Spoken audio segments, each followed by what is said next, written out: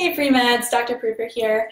I'm just going to be doing a quick video tonight about 10 common types of med school interview questions that you should all be prepared for going into your interviews. Um, preparing for these guys is a really great use of your time these are really commonly asked questions. So our first three questions are tell me about yourself, why medicine, and why our school. So tell me about yourself and why medicine. I just did two videos pretty in-depth on how to answer these questions. You can find them on our YouTube channel. I've included the link um, off to the side there. So follow that link. You'll get some great in-depth insight on how to answer those questions and really what admissions committees are looking for you to say. In terms of the why our school question, really what you need to be doing is going to the school website, looking at their values and their mission statement. You also want to be looking for any parts of the program that you're particularly interested in. So say if you did a global health experience in Cuba during undergrad and you really enjoyed it, and this school is offering um, global health experiences in China to their students, you might enjoy that. So you would talk about that as a reason that inspired you to go to this school. You could also look at their curriculum and any projects their students do that you might be interested in as well whether that's research or community outreach or whatever it may be. But just do your research, look into the program, and figure out what they do, and relate that back to your residency and talk about it when they ask you why our school.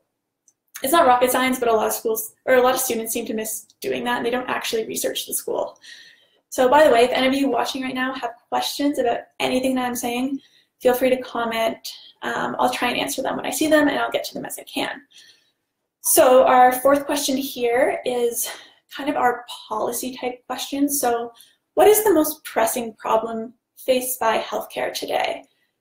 So you should basically prepare answers related to what you perceive to be the most pressing issues based on your own personal experience and then back that up with facts in terms of things that you've learned from reading the news or recent government policies, as long as your answer is reasonable and rational and that you can back up your opinion with facts that are relevant and well informed, then you'll get a good mark on this answer. The other thing that you should be considering preparing for is just generally reading the news in your country in terms of the healthcare system and hot button topics. So things like medical marijuana, legalization of marijuana, the opioid crisis, um, issues surrounding end-of-life care are all good things to be reading up on. You should also be informed about kind of local marginalized populations. So whether that's Aboriginal populations or whatever is applicable wherever you are, you should know about them and know what efforts the school is making in that direction, as well as you know medical medical people in general. All right, so our fifth question type is scenario questions.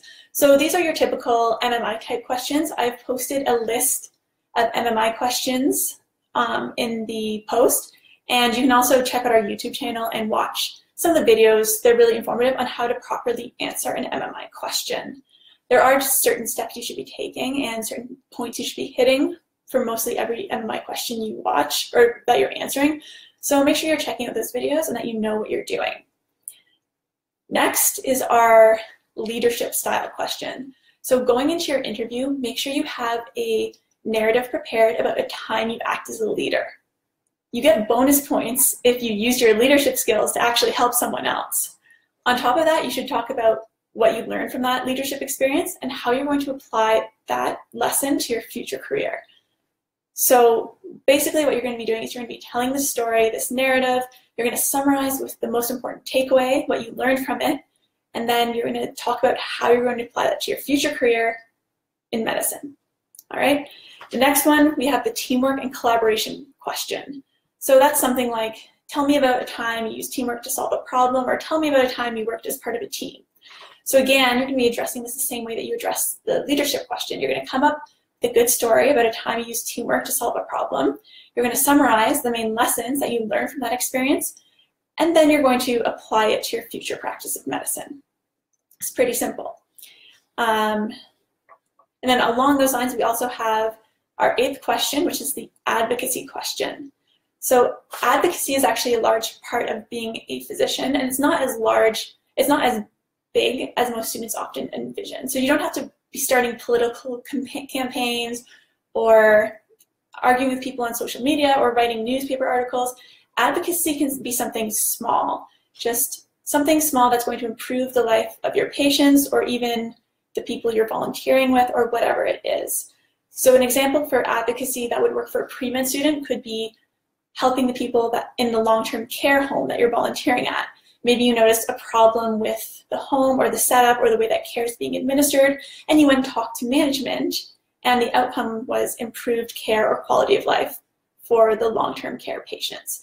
So as a med student or as a pre-med, when you're thinking advocacy, it doesn't have to be huge. Just think of something little that you did to improve the lives of those around you. And as long as you saw measurable benefit, that answer will be good enough.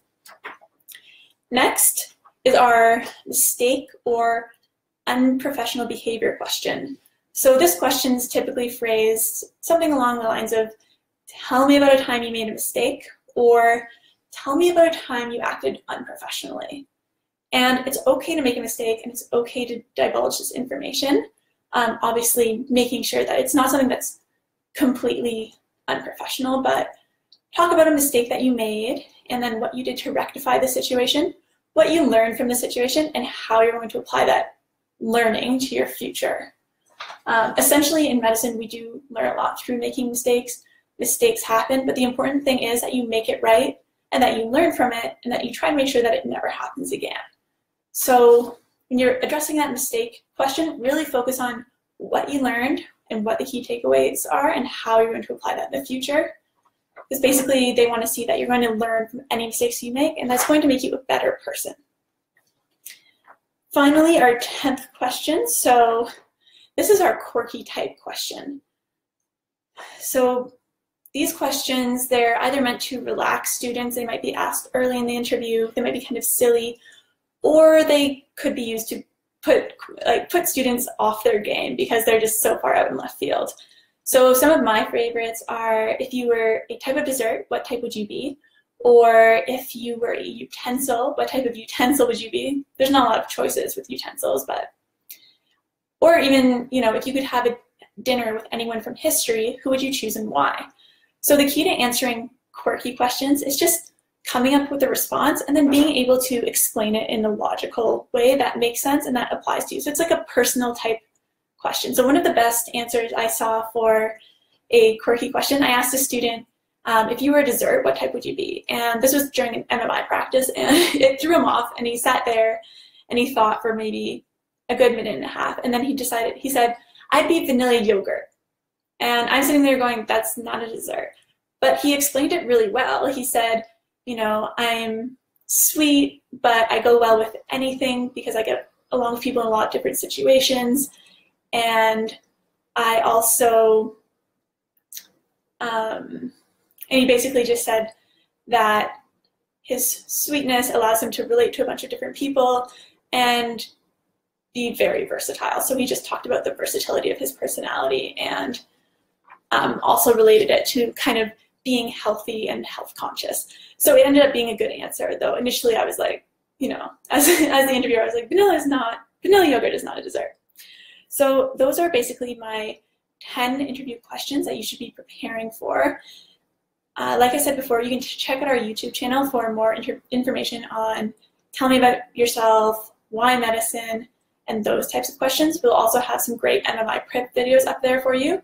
I've also included the 100 MMI prep practice questions. So that's a great resource for you to go, practice, time yourself, whatever you need to do. And there's a final link there too. That's just a general interview preparation from one of our past admissions experts. So have a good night, everyone.